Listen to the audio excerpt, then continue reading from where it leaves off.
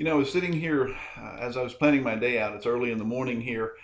And one of the things I've been thinking about as I've been working on this blog and defining expository preaching, just been thinking about how important understanding a definition of preaching, especially expository preaching, actually is, because knowing that definition is what's going to be a foundational motivation for everything that we do. Uh, it, you know, if we know what what it's called and why we're doing it. And in my case, you know, the oral proclamation of a properly interpreted passage of Scripture, uh, so forth. You know that the understanding those foundational elements are going to make a big deal uh, in our life because it's going to motivate us to to make sure that we do that. When I think about this aspect of a call of God, you know, I go back to when I was in seminary, uh, First Timothy uh, chapter 3, verse 1. Uh, that passage of scripture was explained to me in very explicit detail by uh, my seminary professor at that time, my preaching professor at that time, the, the man that I was working for as, as a grader in his class, Dr. Jim Shaddix. And I, and I remember him just stressing that it, that it says that if, if, if any man aspires or desires the office of overseer. It's a it's a good work that he desires to do. And, and he explained that word aspires or desires, and he, he began to tell us that it's not something that we just have in our in our mind that we just wake up one day and say, you know, I think I'd like to be a pastor or a preacher. But something starts stirring on the inside of us. And he explained that that word aspires or desires carries with it the idea that something has been put inside you from an outside source. And that outside source, of course, in our case, is God.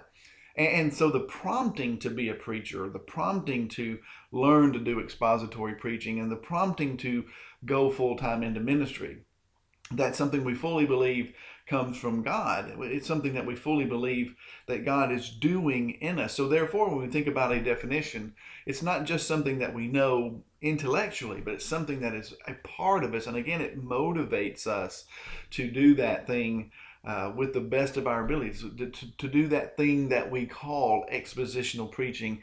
Uh, to the best of our ability, abilities because we are doing it for the glory of God. And, and so there's two things that I talk about in this, this article the idea that the call of God or that prompting from God is is un or it's unbelievably overwhelming is, is what I'm trying to say. It's just something that stays inside you. It's not something you can run from. I hear a lot of preachers tell their story about how they ran from it. Well, they must not have been able to run very long uh, because they got caught. I never wanted to run from the call of God. I just wanted to make sure that I did indeed have the call of God on my life. I didn't want to just make that assumption. So again, it's overwhelming in the sense that it just is always there. It's always at the forefront of your thinking. It's right there in your mind all of the time. And and you want to do it, but because you want to do it, you want to make sure that you're ready and that you do it to the very best of your abilities. You want to go and get the training necessary and come to websites like this, you know, and, and just devour the information. And then secondly, not only is it overwhelming, but but it's something that's verified uh, not only by yourself, but the people around you. I mean, you know it yourself. You feel that strong call inside yourself. But the people around you in your church and your family will begin to sense it. They'll begin to know it as well.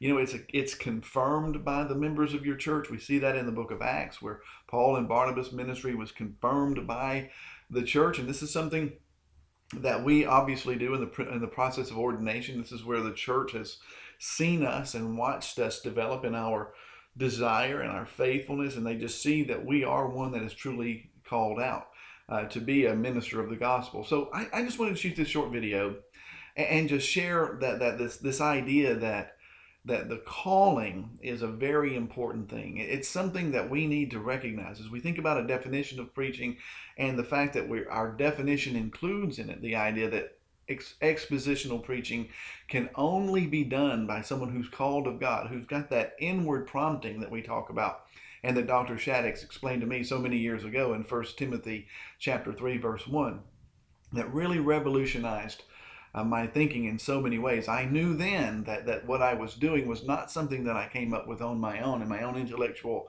ability, but it was something that God had planted there. So it helps me as I formulated that idea of a definition of preaching, and I trust it'll help you. That God has put the prompting in you to be a minister. We're motivated to live on top of that call, uh, in, in line with that call, and put that call into action and, and study and, and preach to the very best of our abilities for the glory of God. And, and secondly, understanding it, it is very overwhelming. And, but it's also confirmed by the church. So since we've confirmed it in our, in our own heart, and we, it's been confirmed by members of our church, then we can go out and we can do it very well. That's the question. Do you know without question that you're called to do this? Because I can promise you that if you don't feel as though you're called, you're going to have a lot of trouble doing this. Hopefully, you're here because you have that assurance, and this website, the things that are here, are helpful to you. If I can help you in any way, don't hesitate to get in touch with me. Uh, take advantage of the coaching. Man, the coaching ministry is growing. My schedule is getting full, but I would love to help you. I'll find a way to work you in if I can. If I can help you in any way, I'll do it. I'll, I'd be honored to work with you. This is Tony Guthrie. All the best.